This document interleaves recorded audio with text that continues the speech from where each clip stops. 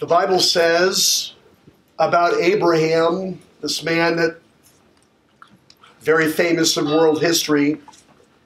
The Bible says that Abraham believed God and it was counted to him as righteousness, and he was called a friend of God. I want to ask the question this morning on Friend Day how can a human being become a friend of God? That's exactly what God called Abraham. When the Bible says that in the New Testament, it is actually quoting a passage in the very first book of the Bible, the book of Genesis. And to understand what the Bible meant when it said, Abraham believed God, and God counted that to him as righteousness, and he was called a friend of God, I need to understand what happened in Genesis.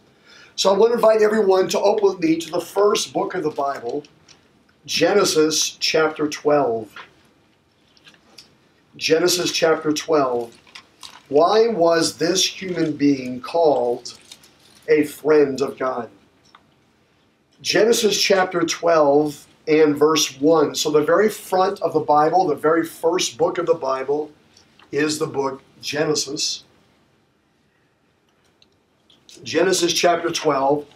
And before I read this, I just want to make note of the fact that according to Scripture, there is such a thing as a human being who is the friend of God. Look what Genesis chapter 12, verse 1 says. Now the Lord said to Abram, Go from your country and your kindred, your family, and from your father's house to the land that I will show you and I will make of you a great nation, and I will bless you and make your name great, so that you will be a blessing.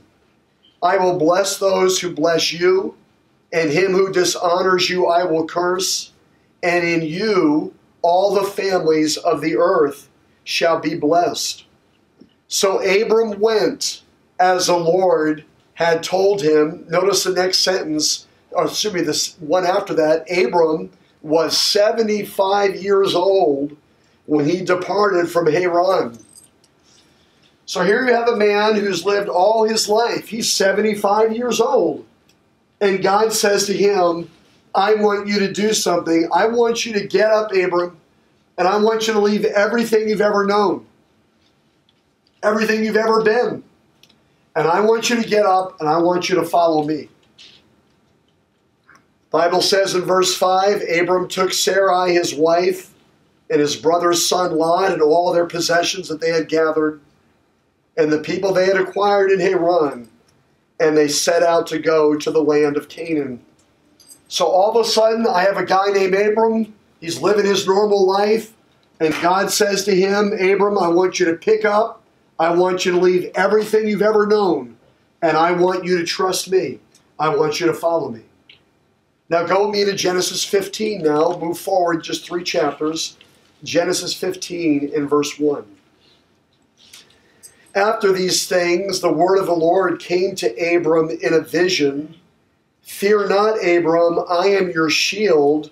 Your reward shall be very great. And Abram said, or but Abram said, O Lord God, what will you give me? For I continue childless God, you said if I would get up and follow you, you were going to give me more descendants than I could possibly count. But here I am. I have no child. What will you do for me, God? Notice in verse 3, Abram says again to God, You have given me no offspring, and all I have is a guy who works at my house as my heir. The Bible says down in verse 5 that God brought Abram outside and said, Look toward heaven and number the stars if you're able to number them. Then he said to him, So shall your offspring be. And then here comes the line. And he believed the Lord, and he counted it to him as righteousness. Abram came to a point in his life, by the way, the word believe in the Bible is a word in the Hebrew language that means to be persuaded. He was persuaded that what God said he would do. And the moment that he was persuaded of this, the Bible says that God looked at Abram's heart and said, That is righteousness. I count that as righteousness. Now, ladies and gentlemen, if I in my lifetime and you in your lifetime, anyone in this room is ever going to become the friend of God, you first are going to have to believe him. You're going to have to believe that what he said, he will do. The Bible says in James, I quoted you when we began, that Abram believed the Lord and he counted it to him as righteousness, and he was called a friend of God. Now, I want to take you to one more passage that explains this story a little more. You're in the New Testament in Genesis. Now I want you to go almost to the end of the old, the, excuse me, the Old Testament. You were in Genesis. Now go almost to the end of the New Testament to the letter of Hebrews. Hebrews chapter 11. Hebrews chapter 11. Hebrews chapter 11, beginning in verse 8. Hebrews chapter 11. If you're not sure where that is, you can check the table of contents in the front of your Bible under New Testament, the letter to the Hebrews, H E B R E W S. Hebrews chapter 11, notice verse 8. By faith, that's the same word as believe, because he was persuaded, Abraham obeyed when he was called to go out to a place that he was to receive as an inheritance. Now, ladies and gentlemen, please remind me how old was Abram when God came to him and said, I want you to leave everything you've ever known, everything you've ever been, and I want you to follow me? How old was he? 75. He was 75. Sometimes there are people who say, Listen, man, I've lived all my life a certain way. I have a dear friend in the center of the city. She's attended a number of services here. Retired archaeology professor from Yale. We've had many interesting conversations. And yet she is said to be a number of occasions, as we've explained, both the Old and the New Covenant. My husband has already died, and I know what you're saying, and I think it's true, but I it's too late for me now. Ladies and gentlemen, Abram was 75 years of age. And at that day in his life, God said to him, I'm telling you, this is what I'm going to do. And what has to happen at that point when God speaks, it gets mixed with your persuasion. You actually get up, leave, and follow him.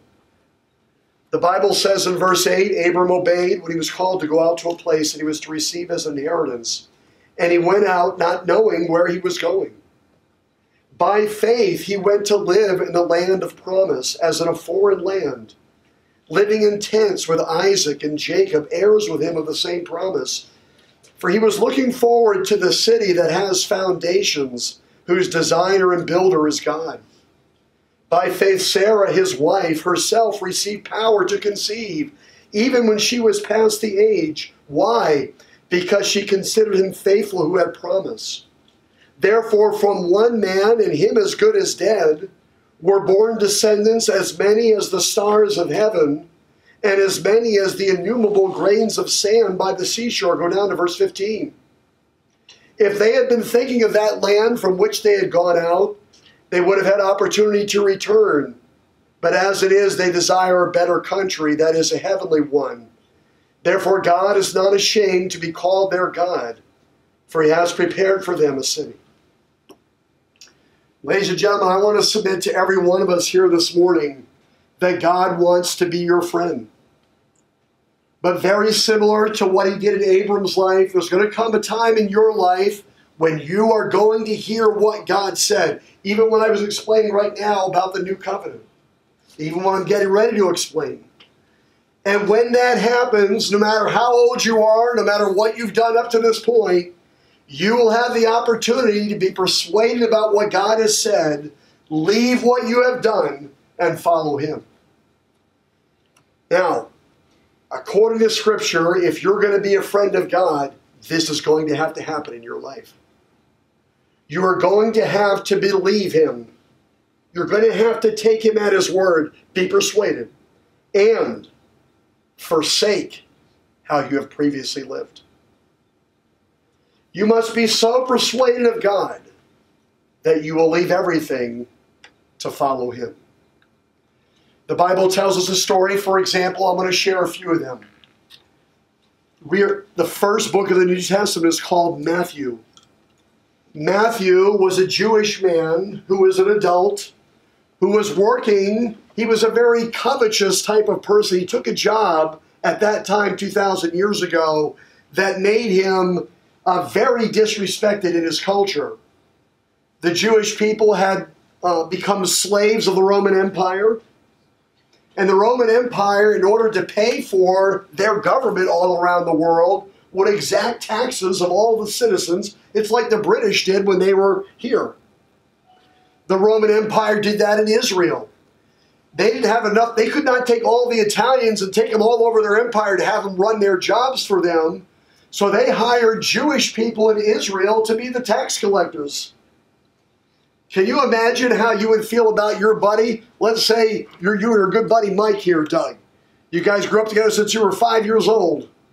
And all of a sudden Mike becomes the tax collector for the Roman Empire.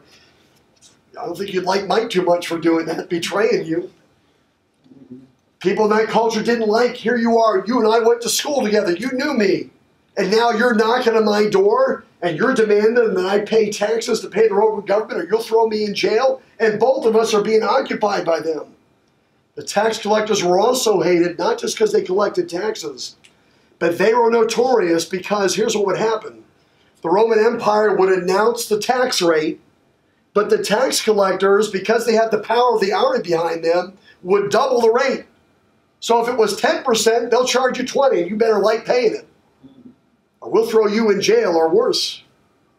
So if you're a tax collector, you have absolutely no, the only thing that means anything to you is money. And you'll betray anybody. That's Matthew. The Bible says one day Matthew was sitting in his tax booth, and Jesus walked right up to his tax booth and said, Follow me. And the Bible says Matthew, sitting in his tax booth, left the booth right then, and he followed Jesus. Guys, do you know half the New Testament is written by a man named Paul? Do you know Paul had lived halfway into his adult life as an Orthodox Jew? If there was anyone who was an opponent of the new covenant, it was him. In fact, the Apostle Paul, if he were standing here this morning, I've had people say this to me at other times. Don't you know where I came from? Don't you know where I've been trained? Don't you know my background? And the Apostle Paul would say, like he did in the New Testament, if anyone has reason to have confidence in the flesh, I have more. Philippians chapter 3, verse 4.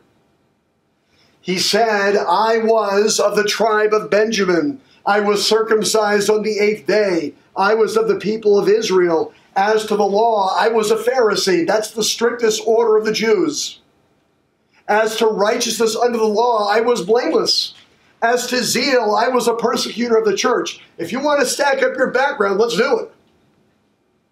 But then he said, Whatever things I had gained, I counted loss for the sake of Christ. Indeed, I count all things as lost. All of my background, all of my job titles, everything the world will be impressed by. I'm a member of this club. I lead this organization.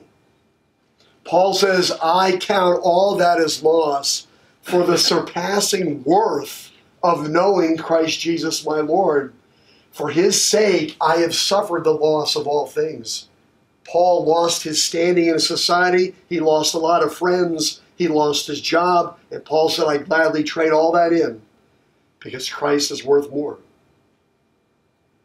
I have suffered the loss of all things. And he said, I count them as rubbish that I may gain Christ and be found in him, not having a righteousness of my own that comes from the law me doing good works, but that which comes through faith in Christ, the righteousness from God that depends on faith. Ladies and gentlemen, I have a question for you. Do you want God's righteousness or are you going to stick with yours? There came a time in the Apostle Paul's life, there was no one who tried to be more righteous than him. But he said, When I met Christ Jesus, I abandoned everything I had followed to that point, and I followed him. This is what Abram did. This is what Matthew did. This is what Paul did. And I'm telling you this morning, this is what every single Christian has done. The Bible says the kingdom of heaven is like a merchant of fine pearls. So we got a wonderful jeweler in our room with us here this morning, Ann. You know what the Bible says, Ann? The kingdom of heaven is like a merchant of fine pearls who, on finding one pearl of great value, went and sold all that he had and bought it. Do you know you will really understand who Christ is when you're willing to leave everything and follow him? I want to ask you a question. Has that ever happened in your life? Can you imagine that, Ann? Your son finds a jewel somewhere in the world. He says, Mom, we got to sell the entire store. We're going to buy this one jewel. The Bible says that's what the kingdom of heaven's like. When a person comes to Jesus, they get everything they were and had, they trade it all for it. How does a human being become a friend of God? They must come to a place like Abram where they believe God and they leave and they follow him. Do you know, ladies and gentlemen, the Bible says in the New Testament, do you not know that friendship with the world is hatred toward God? Whoever wishes to be a friend of the world makes himself an enemy of God. Why? What, what is it that's wrong with the world? The Bible says the world in which you and I live, by the way, the word world that's translated English is a Greek word named cosmos, and the Greek word means an arranged system. You and I have been born into a system that is arranged against God. For example, listen to Mark chapter 4, verse 19. God, Jesus said in Mark 4:19 that the kingdom of heaven is like a man who goes out to sow in a field. And he sows the seed, and he describes one kind of ground that it falls in is, is thorny ground. And Jesus said, What are those thorns? Mark 4, verse 19. They are the cares of this world, and the deceitfulness of riches, and the desire for other things. And they choke that seed and it proves unfruitful. Guys, the world that you and I live in has its own cares, its own desires, the pursuit of riches, so that a person's life is so busy pursuing other things, they never hear the call of God to abandon what they've been and follow Him because they're so wrapped up in the cares of this world.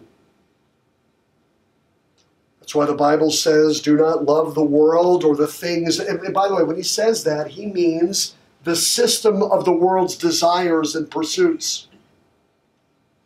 Do not love the world or the things that are in the world, for if anyone loves the world, the love of the Father is not in him.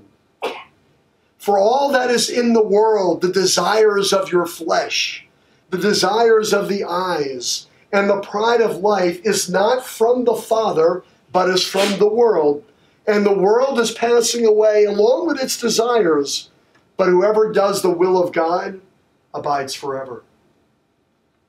The Bible says in 1 John chapter 5 verse 19, the whole world system lies in the power of the evil one. This morning as I declare the word, I'm speaking to all of us who live in this world. A system that has been arranged in its desires, in its focus, in its pursuits, in its cares, that have nothing to do with God. And yet, in this world, God comes to human beings and says, I want you to follow me. And you have an opportunity. Are You're going to stay in that booth and keep being who you've been. Say, I've lived all my life. I got a comfortable world. I'm happy the way my life is. And God says, I want to be your friend. I want you to believe me, and I want you to follow me. Now, ladies and gentlemen, the Bible tells us that God loves the people that are in the world and has sent Christ to rescue us from its darkness. The Bible says God so loved the world that he gave his only Son, that whoever believes in him should not perish but have eternal life. For God did not send his Son into the world to condemn the world, but in order that the world might be saved through him. Jesus said in John 12 and verse 46, I have come as light into the world so that they may not remain in darkness. You know, the Bible says that, listen to what the New Testament Paul one time wrote. You were dead in your trespasses and sins in which you once walked, following the course of the world. The world has a course it's on, everybody. Following the prince of the power of the air, the spirit that is now at work among the sons of disobedience, among whom we all once lived. And listen how, listen how the world controls you. Listen what the Bible says. In the passions of our flesh following the desires of the body and mind, and we're by nature children of wrath like the rest of mankind. But God, being rich in mercy because of the great love with which He loved us, even when we were dead in our sins, made us alive together with Christ. By grace you have been saved. For by grace you have been saved through faith, like Abram. And this is not your own doing, it is a gift of God not as a result of works, so that no one may boast. It's been big news lately in the news. Almost everyone has heard about the recent conversion of Kanye West. I saw an interview with him the other day. This guy does a late night show. James Corden is on an airplane with Kanye West. On the airplane, he says to Kanye West, What are you going to say, Kanye, to all these people who say to you, I don't believe it? I saw this guy two years ago, three years ago, five years ago, five, four years ago. He says to Kanye West, I don't think this happens night and day like it's happening to you. And Kanye West said to his James Corden, he said on the airplane, he said, When you're asleep, would you agree that we're asleep? And the guy said, Yes. And Kanye said to him, when, when we're awake, would you agree that you're awake? And the guy said, Yes. And Kanye said, Would you say those are two different states? One guy's asleep and one guy's awake. And the guy said, Yes. And Kanye said, The people who don't believe are asleep. They're walking dead. And then Kanye said, This is the awakening. I woke up.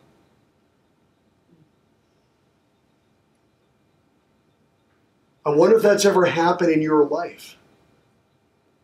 You're just going along through life, you're following the desires of your body and mind, like everybody else is. You're running right down the track.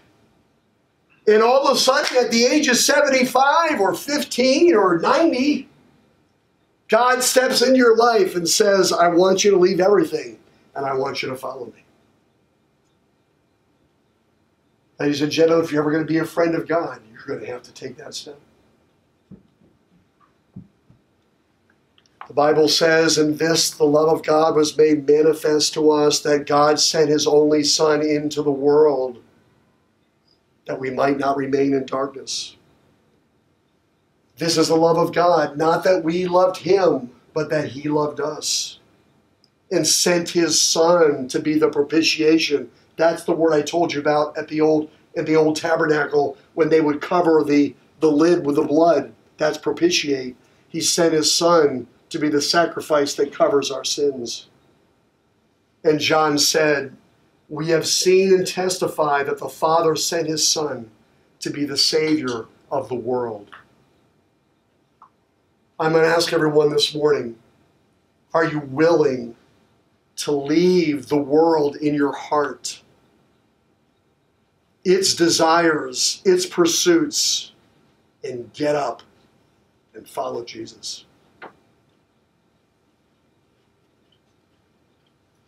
To become a friend of God, you must abandon the world in your heart and transfer your complete trust to Christ.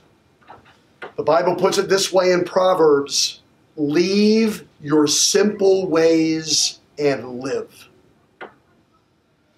The Bible says in Acts 20, verse 21, repent toward God. You acknowledge to God, God, I have followed the desires of my flesh, the body and mind and I repent of this and put your faith in Jesus Christ. This is what the scripture calls us to do. The Apostle Paul said in Galatians, Those who belong to Christ Jesus have crucified the flesh with its passions and desires. Galatians 6:14 says, "But far be it from me to boast except in the cross of our Lord Jesus Christ, by which the world has been crucified to me and I to the world."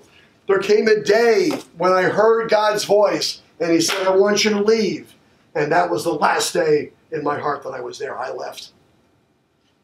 That's Abraham, that's Matthew, that's Paul, that's every genuine Christian.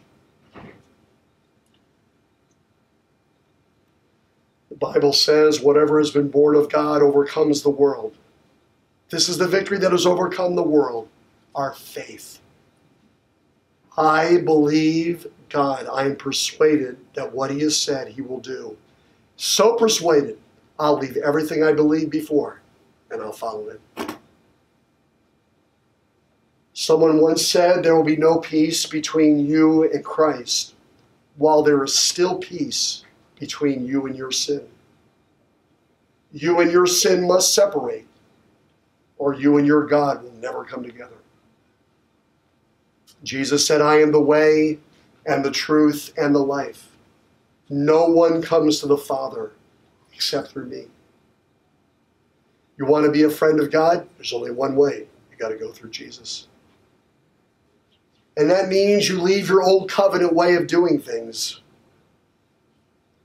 That means you acknowledge, Lord, I've lived my whole life caught up in the world system. And I believe that you sent Jesus so I would not remain in that darkness. And like Kanye West, I'm awake.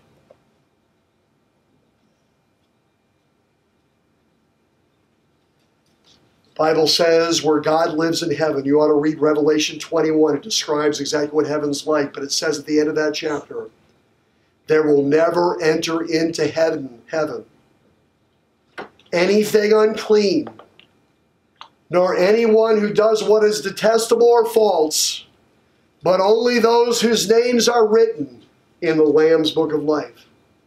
You will never know God or live in his presence if you will not get up from where you've been in your heart, leave it, and place all your trust in Jesus. I'm telling you, that's what the scripture says. In conclusion, the Bible tells us this Psalm 25, verse 14 The friendship of the Lord is for those who fear him, and he makes known to them his covenant. The person who says, Lord, I hear what you're saying, and I am persuaded of you, and I am going to follow you. I fear you above all else. The Bible says that's who God's friendship is reserved for. And to that person, he makes them know his covenant. What is his covenant? Hebrews chapter 8, verse 10. This is the covenant. I will write my law in their minds and on their hearts, and I will be their God and they will be my people. And they will no longer teach each one his neighbor and each one his brother, saying, Know the Lord, for they will all know me, from the least of them to the greatest. Who is the person that knows God like a friend? It's the one who's willing to abandon his own righteousness, his sins, everything he's believed before, and like Abraham, and like Matthew, and like Paul, and like millions of others. Scripture says Abraham believed God, and it was counted to him as righteousness, and he was called a friend of God. Would you like to become the friend of God? Forsake the way you have lived, believe in Christ, and follow him.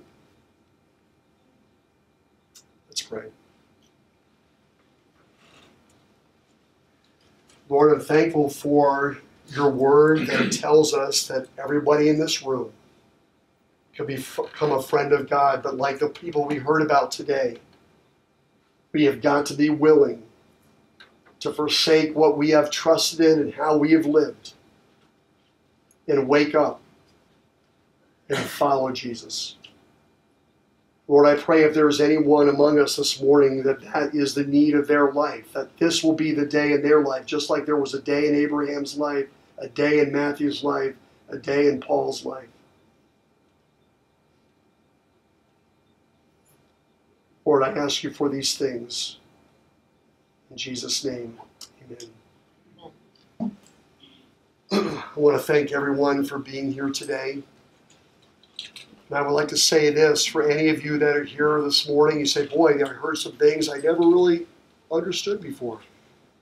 What I would encourage you to do is return again, hear the scripture again. There have been many occasions after the morning service, people have come up to me and said, You know, I want to, I want to act on this right now. What do I need to do?